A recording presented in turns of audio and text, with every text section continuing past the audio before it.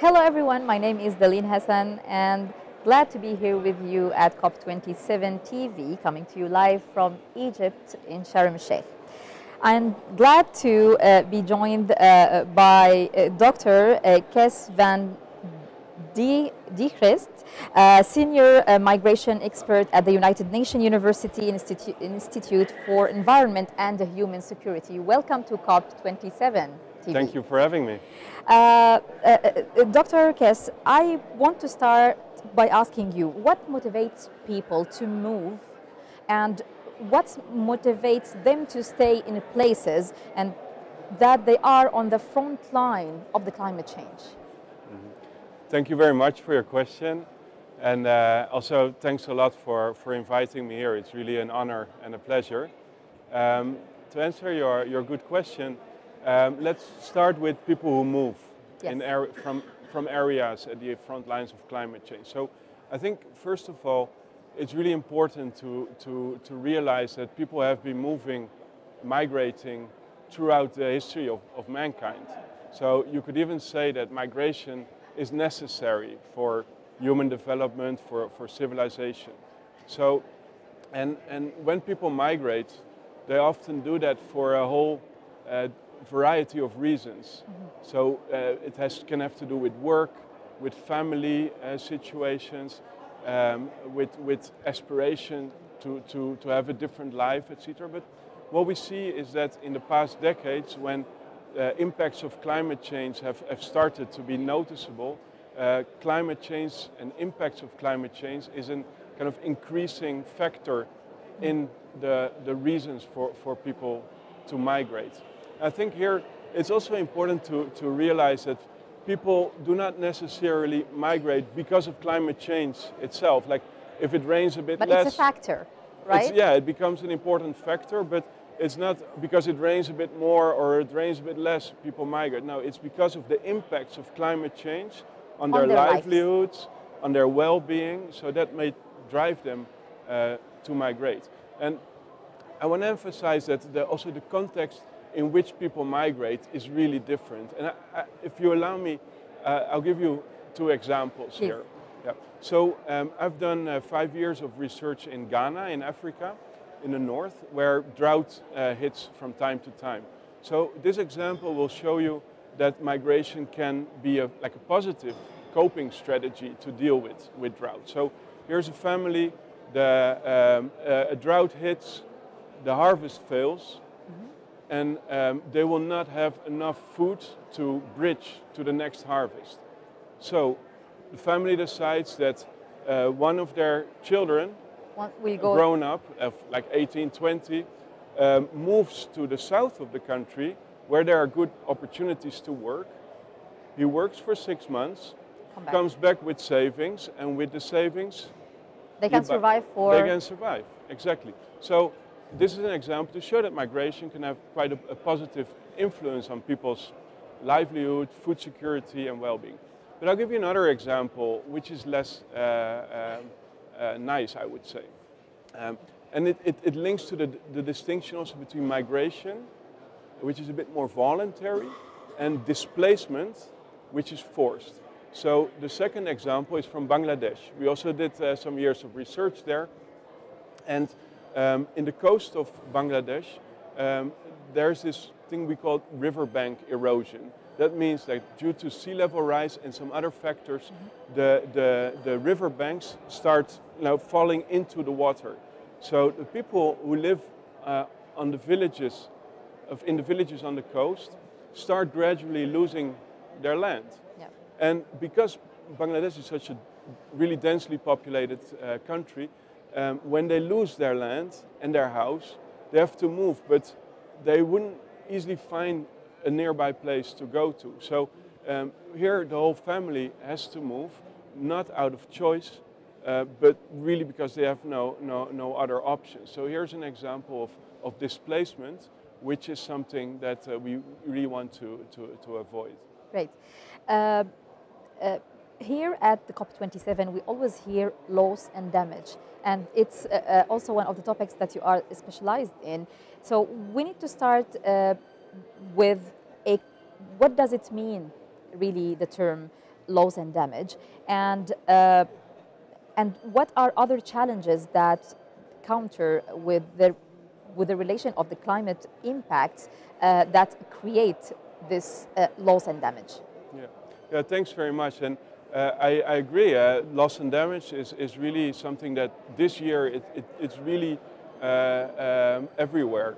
Yeah. Uh, I've been working on this topic of loss and damage for the past 10 years, and uh, it used to only come up a little bit at the end of the, the, the COP um, when the negotiations had to finish, and a number of countries and, and country blocs would really say like we need to have loss and damage on the on the agenda on the sorry on the there, there needs to be uh, text about loss and damage in, for example, the Paris Agreement. Yep. Um, but um, what we see now is that, that uh, uh, a lot of uh, people are talking about loss and damage. And um, I can tell you quickly what loss and damage yes. is. Um, so loss and damage is really about situations uh, where uh, people live in places that are where adaptation to the impacts of climate change is becoming increasingly difficult and sometimes impossible.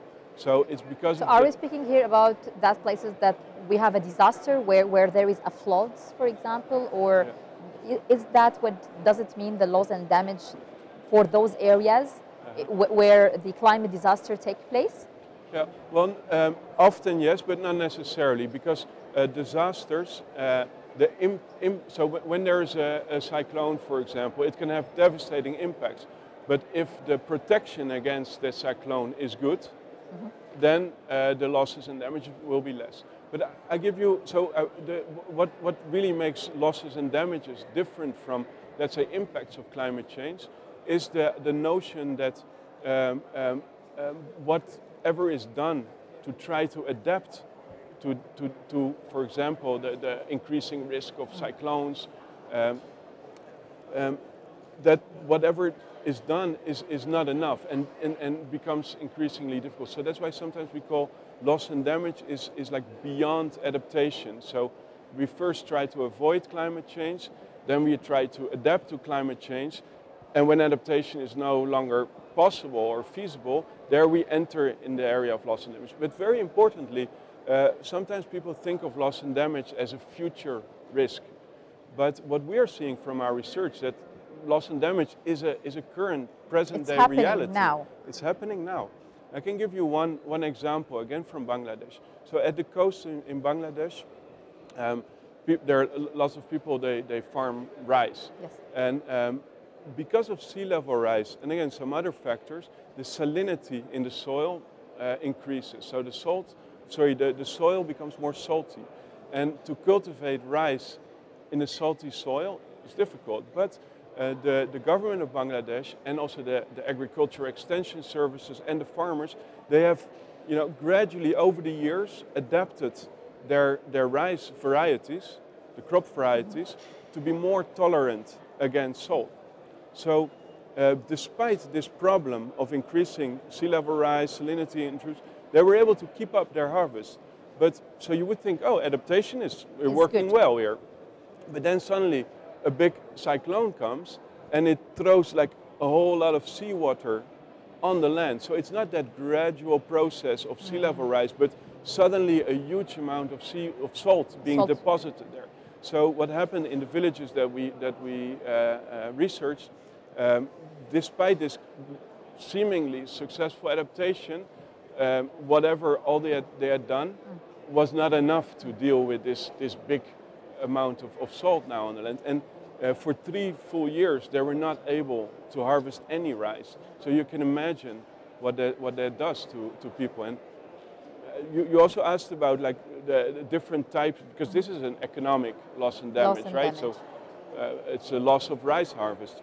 Exactly. But in the same area, uh, people would have lots of uh, uh, health problems because um, of the salinity mm -hmm. of the soil, but also the salinity of the water there was not enough fresh water available. So they would be drinking salt water, and there were uh, all skin diseases came, and uh, there were uh, problems with, re With- reproductive health. So so so uh, um, babies being born um, with, with difficulties.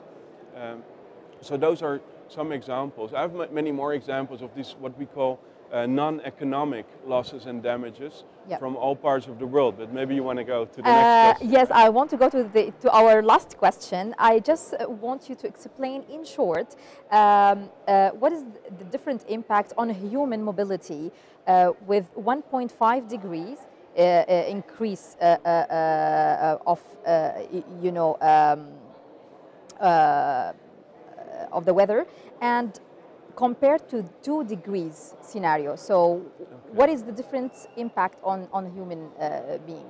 Yeah. Thank you for the question. It's, it's a challenging one, but uh, let me try. Uh, Because now we are speaking about the 1.5, and we Yeah. really need to keep the 1.5 alive. Yeah. So, what's the difference? So, it, it would be great for people to understand, like what, what what's what's the impact and what, what's the consequences. Yeah. Um, so a few years back, the IPCC, the Intergovernmental Panel, Panel on Climate Change, they published a report exactly about this topic. So what's it? It's the 1.5 report, and they looked at what 1.5 means and what 2.0 means for different sectors like agriculture, infrastructure, uh, and um, this uh, this uh, report had some information on migration also, um, but I think um, um, what, what, what, what is really relevant for, for, for, for this question is that uh, between 1.5 and 2, the number of people that live or are, are exposed to climate risk, severe climate risk, doubles. So it's double the amount in 2 degree than on 1.5 degree. So now a lot of people who are watching might think like, oh, then probably the number of people who are going to migrate is also going to double. That's not the case. So what happens is that uh, people uh, um, move for different reasons, I mentioned before, and in different circumstances. So what the difference between 1.5 and 2 degrees means is that more people will, will be displaced, so more people will be forced to move, um, but it's not necessary that, that more people migrate because to be able to migrate, you need resources. So the same impacts of climate change that cause some to be displaced reduce actually people's capacity to move. So instead of um, um, uh, thinking that with more climate change, more global warming, you would have more people moving, it's rather a, a, a situation where more people are displaced and people lose uh, some capacity to decide where they can live. So that's definitely a big loss too. Dr. Kees, thank you very much for your time today and thanks for this insight. Thank you. It's a Thank pleasure. you.